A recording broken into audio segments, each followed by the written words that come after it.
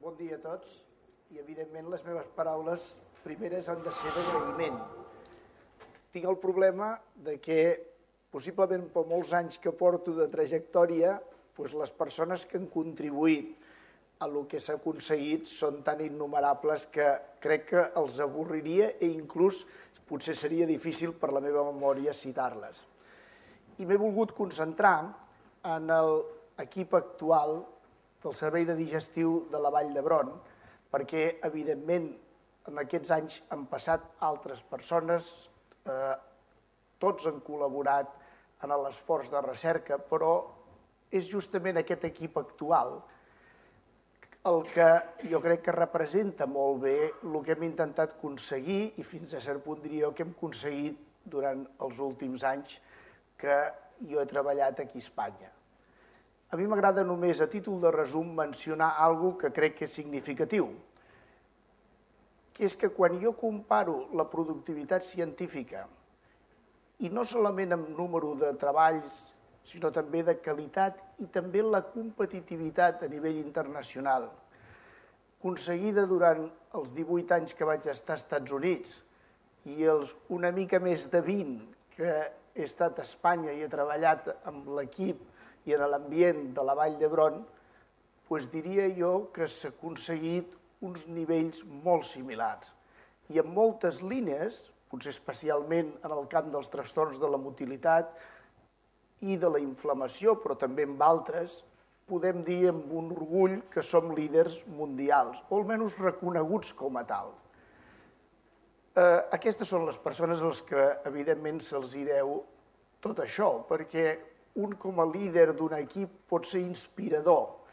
De vegades hi ha una funció molt important que és ser pesat i reclamar resultats i d'alguna forma exigir. I si és així, doncs, també s'ha de demanar perdó a les persones que es poden haver sentit incordiades, però és clar, hi ha que haver-hi un, un cert nivell d'exigència, perquè si no hi ha exigència no hi ha rendiment i sobretot no hi ha qualitat les coses s'han de fer realment ben fetes.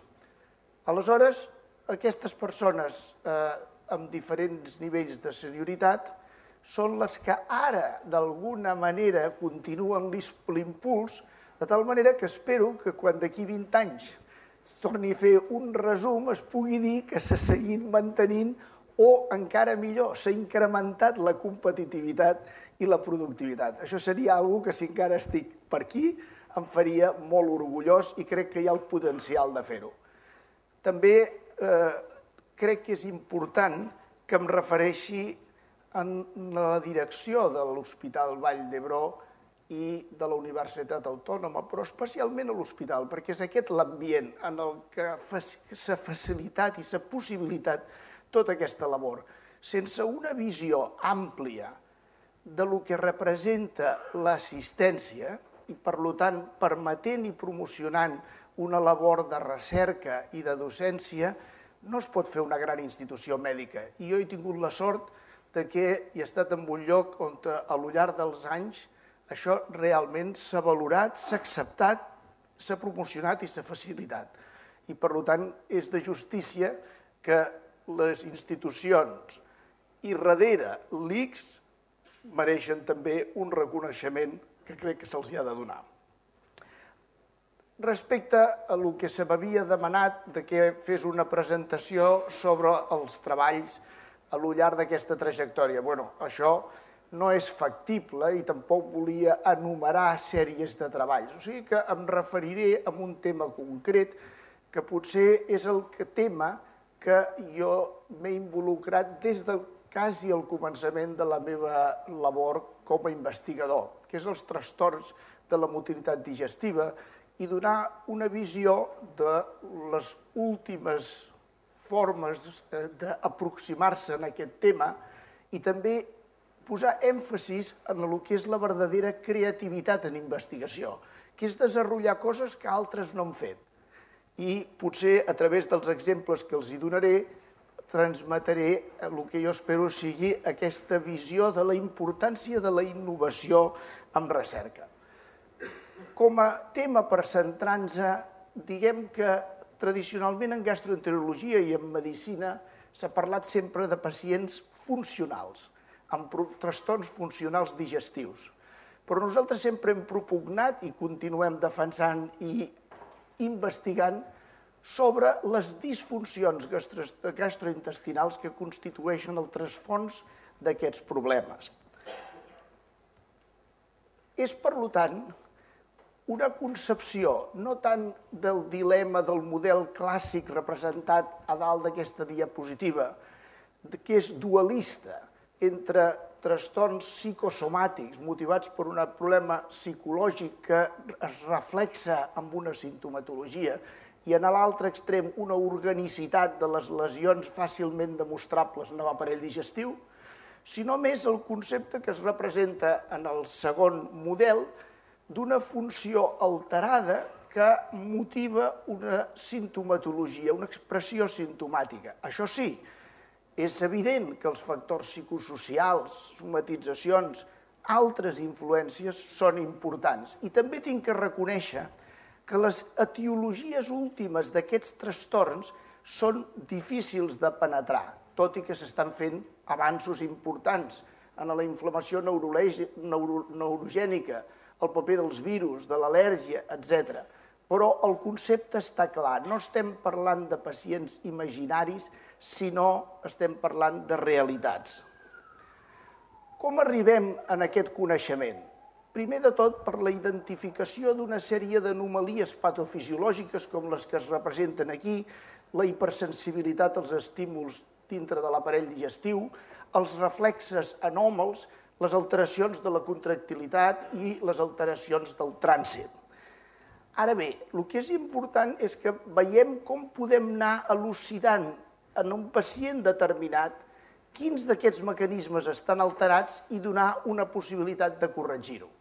I començaré per referir-me en els trastorns de tipus dispèptic, que són molt comuns, i comparar-los amb un altre trastorn, que és la gastroparesis, que és el problema que té l'estómac de buidament relativament menys freqüent. I com veuen, poden veure en aquesta diapositiva, la diferència crucial és que la compliança gàstrica està alterada en la gastroparesis i, en canvi, no en la dispèpsia funcional. Ara bé, si incrementem a dintre de l'estómac la pressió, com es representa en l'axis horitzontal, en relació en el volum que s'expandeix, poden veure vostès que els pacients de dispèpsia funcional presenten molèstia molt abans que els individus normals i en contraposició als gastroparètics. I és aquest concepte del dolor, de la resposta anòmala a l'expansió gàstrica que nosaltres hem treballat amb tecnologies cada vegada més avançades. Un dels instruments que deriva d'un que realment vam inventar i desenvolupar amb el meu equip fa molts anys, que es diu el Barostat, ara, a través d'unes modificacions, permet aplicar una tensió determinada a les parets de l'estómac.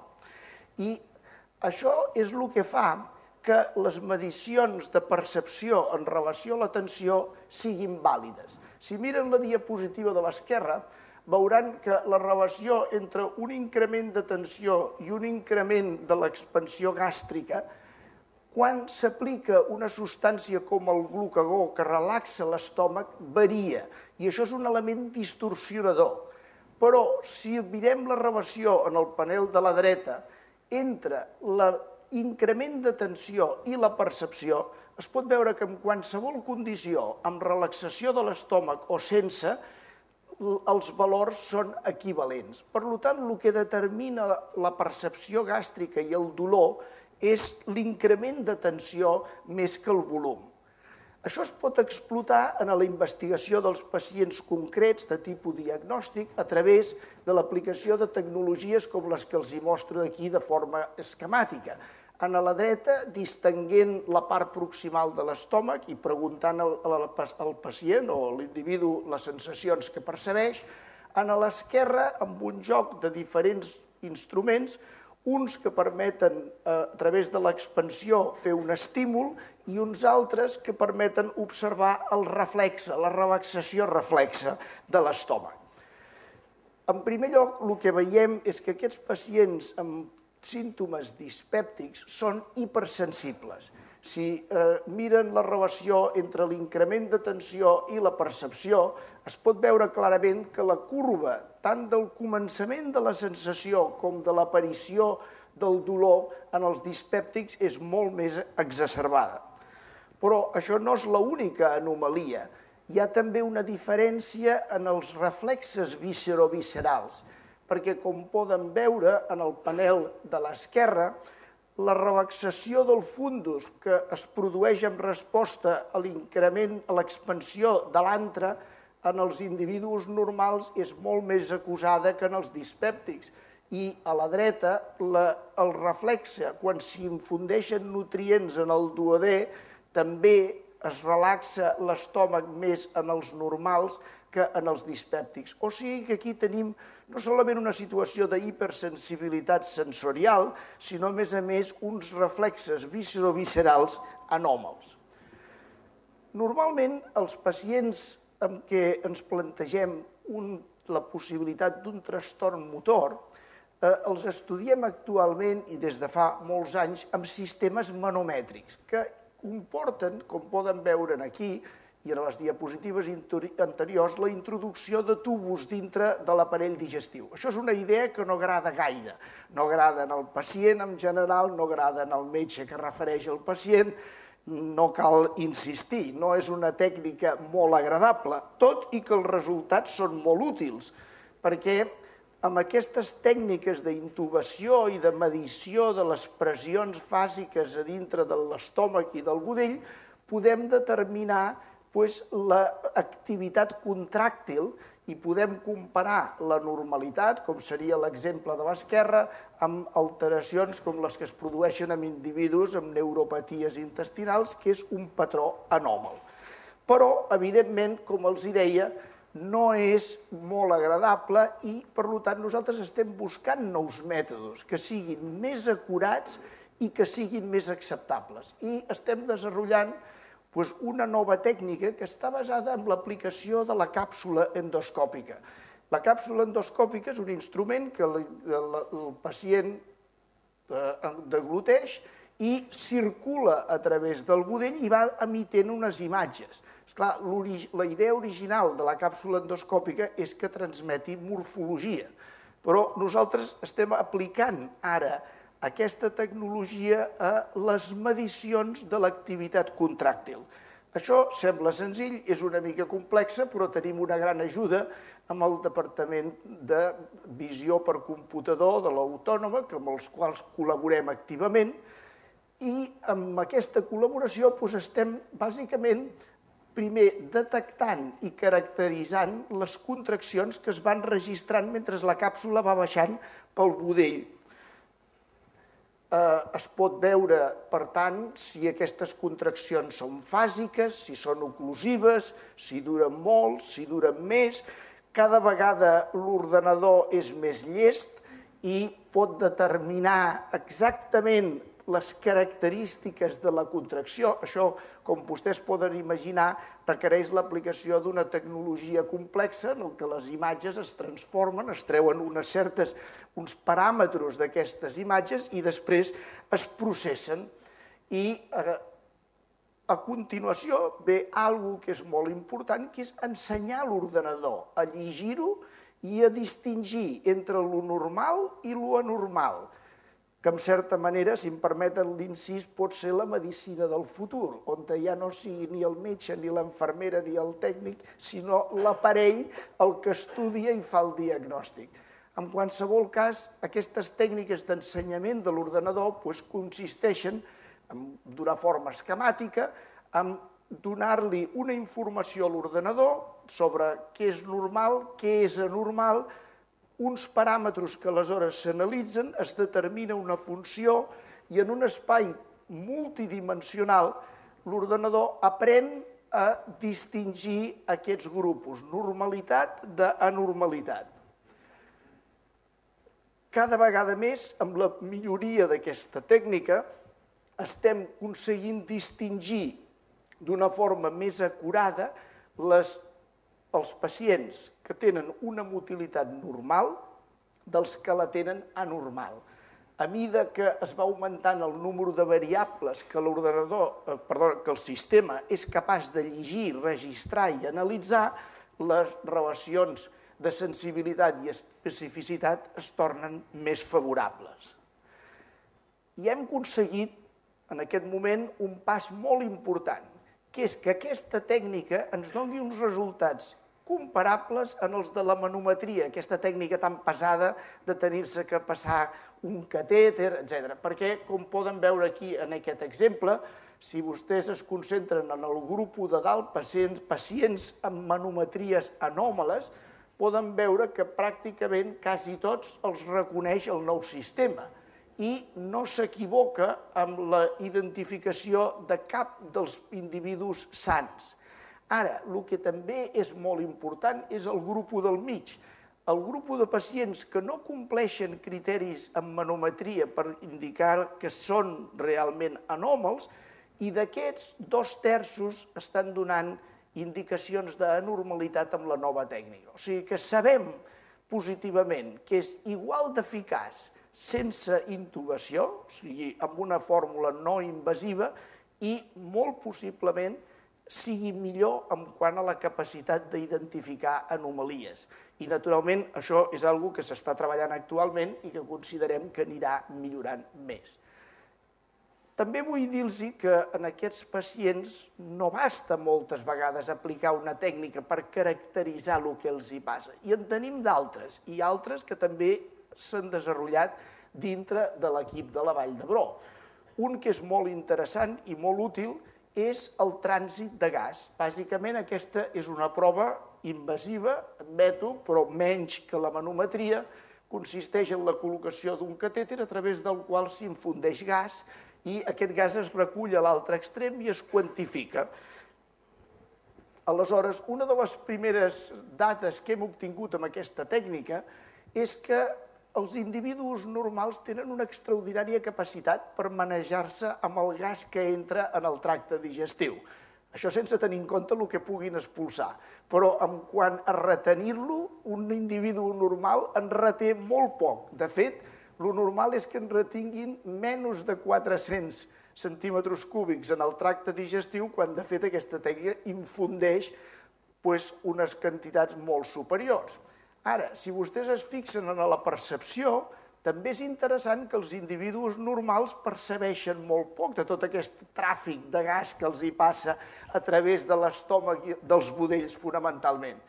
I això és diferent del grup d'individus amb, amb el que es denomina color irritable, que o bé senten més, o bé retenen més, o inclús les dues coses al mateix temps. Retenen i senten i es queixen. On s'acumula aquest gas en els pacients? També ho sabem, això, perquè hem fet proves amb xenon radioactiu i aquí hi ha un exemple, poden veure que els pacients el retenen en el budell prim, no en el colon. A l'esquerra hi ha un individu normal, on el gas a 15 minuts està ja en el colon dret, encara està en el budell prim en el pacient. I això, lògicament, ho hem quantificat, es veu en aquesta diapositiva, a l'esquerra, en les persones normals, podem veure que molt poc gas està retingut. A la dreta, els pacients, la major part del gas es reté en el jejú, o sigui, en el tubo digestiu en el budell prim superior, el qual ens va intrigar molt i és molt curiós perquè anticipaven que podia ser en el colon. Ara bé, el comportament d'aquests pacients funcionals en relació al gas és molt diferent dels individus que tenen una neuropatia intestinal, o sigui, persones que tenen un trastorn motor molt més pronunciat. Perquè els que tenen els malalts amb neuropaties intestinals el que fan és retenen més i senten menys que els individus amb el colon irritable. O sigui que tornem a lo mateix. El que caracteritza els diferents grupos de pacients són combinacions d'anomalies i el que predomina en el pacient funcional sempre és l'expressió de dolor o malestar per sobre de lo que seria l'alteració del trànsit. I això és una manera que ens permet ajudar en el diagnòstic. El volum de gas determina la distensió, però és l'activitat motora la que determina la percepció subjectiva dels símptomes. i els reflexes que es produeixen dintre del tracte digestiu. Bé, seguint en la mateixa idea de que s'ha de profunditzar més i sobretot si podem fer-ho d'una forma no invasiva, també s'ha començat a desenvolupar una tècnica que utilitza les avantatges de la tomografia computeritzada, però, és clar no és els, els, els, els tacs no arriben programats per fer això, hi ha, hi ha que fer-ho, no? O sigui que hem desenvolupat una tècnica amb la qual eh, s'identifiquen els límits de la cavitat abdominal i s'han generat uns programes originals que permeten adquirir les, les dades que proporciona el TAC i aleshores a través d'un procés de canviar formats, d'identificació del gas, de fer unes reconstruccions, doncs acabem amb una imatge i una quantificació del gas dintre de l'abdomen. Aquí ho veuen representat amb l'esqueleto, però el que ens interessa són aquests grups, aquesta espècie de taques, que són on els volums de gas que hi ha dintre de l'abdomen de la persona. I la tècnica aquesta, a més a més, té l'avantatge, com es veu a la, a la dreta, que permet no solament quantificar el gas, sinó dir on està. Eh? Podem saber si està en el budell primal, el, el primer budell prim baix, quina part del colon, etc. O sigui que ens dona una informació. I això són simplement exemples per donar-los a vostès una idea. A l'esquerra, un individu normal, presumeixo que la majoria de vostès, on efectivament hi ha una certa quantitat de gas dintre dels abdòmens. Ja els he explicat que les persones normals les pulsen quasi tot, o sigui que no és sorprenent que en tinguin molt poquet normalment dintre de la panxa. Al mig hi ha un pacient amb neuropatia intestinal, el que els he dit abans, aquests pacients acumulen grans quantitats de gas, inclús si no ho noten gaire. I a la dreta un pacient funcional, tipus colon irritable, que té una mica més de gas, no gaire més, res comparable en el pacient amb neuropatia, però en canvi sent moltíssim, té una sintomatologia perquè té una hipersensibilitat en el contingut gaseós de l'abdomen. Bé, aleshores, si ens plantegem el que els pacients ens manifesten en relació a quan ens diuen que els hi fa mal la panxa i que estan distesos, doncs tenim aquesta situació. Els individus normals no es queixen d'inflor i tenen poc gas. Els del mig, que són els funcionals, es queixen molt i tenen una mica de gas quan estan inflats. Tenen normal quan no i els de la dreta, que són els de la neuropatia, no es queixen massa, des de logo no més que els funcionals i en canvi tenen molta més gas. Hem resolt el problema? Encara no. Perquè el que tenim que veure també és per què hi ha individus que manifesten, inclús evidencien una distensió abdominal molesta, i en canvi sembla que tinguin molt poquet gas dintre de l'abdomen. I aquí és on entra una altra forma d'enfocar el problema, que és estudiar els reflexes no visceroviscerals, sinó viscerosomàtics. Amb això utilitzem la mateixa tècnica que els he ensenyat, però aquí, a més a més de medir els volums, medim la posició del diafragma. Poden veure vostès que quan hi ha una situació de distensió amb un pacient funcional, no solament s'incrementa el diàmetre anteroposterior, sinó que a més a més baixa el diafragma. I per què baixa el diafragma i per què s'incrementa el diàmetre anteroposterior? Pues això ho hem determinat a través d'estudis electromiogràfics fets simultàniament, on medim electromiogràficament l'activitat contràctil del diafragma i de la musculatura anterior de l'abdomen. I podem veure que els, els individus normals, si entra algo de gas dintre del budell, que això ho fem en el laboratori injectant una petita quantitat de gas dintre de l'abdomen, doncs reaccionen relaxant el diafragma, veuen que l'activitat en el panel de l'esquerra baixa, o sigui, relaxen el diafragma, el diafragma puja, deixen més espai, mentre que els pacients fan el contrari, el contrauen i el diafragma baixa i deixa menys espai. però al mateix temps, degut a aquesta alteració viscerosomàtica, mentre que un individu normal contrau la musculatura de l'abdomen anterior i no deixa que la distensió es manifesti, els pacients relaxen. I tenim una situació que està representada en la següent diapositiva, on hi ha una, amb uns individus normals, tenim coordinació dels reflexes viscerosomàtics, entre gas es contrau els muscles anteriors, es relaxa el diafragma i en aquests pacients amb trastorns funcionals de distensió es produeix el contrari, baixa el diafragma i es relaxa la paret anterior. Ha augmentat el volum de dintre l'abdomen? No. Simplement ha canviat la posició i, per tant, això és el que manifesta el símptoma i el signe que es pot apreciar en l'examen. Bé, eh, clar, podríem desenvolupar-ho això amb més detall, però ja els hi he dit al començament que l'únic que volia és que tinguessin una idea del tipus d'una part de la recerca que es fa en el servei de digestiu de la Vall d'Hebró i és millor concentrar-se en un punt concret. Però això sí, vull donar-los unes conclusions que crec que són importants a la pràctica. La primera és que la precisió en el diagnòstic fisio fisiopatològic possibilita un tractament molt més convincent i efectiu dels pacients amb símptomes abdominals crònics. Fixin-se vostès en el significat de la paraula convincent. No sé si el psiquiatre encara està aquí, però és molt, sí, és molt important que el pacient eh, tingui el convenciment de que s'ha averiguat si realment hi havia un problema i quin era el problema. Segon, establim una lògica tercera via entre, diagnòstica entre la repetició de les proves convencionals negatives i l'etiquetatge superficial per combinacions de símptomes.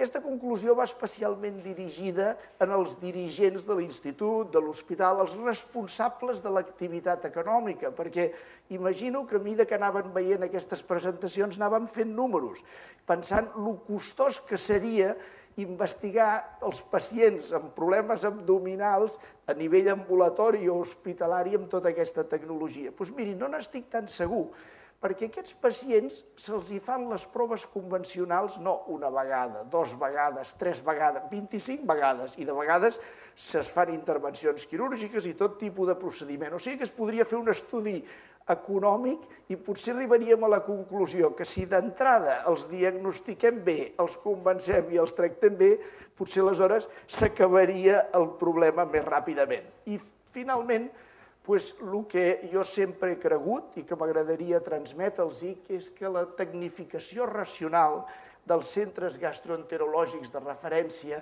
permetrà Ara comencem, però en un futur penso que podrem dilucidar l'espectre global de la malaltia abdominal, intraabdominal, de les alteracions morfològiques, que evidentment són molt importants, a les alteracions de la funció que actualment són poc reconegudes, poc investigades, però que, com veuen vostès, s'estan fent avanços importants.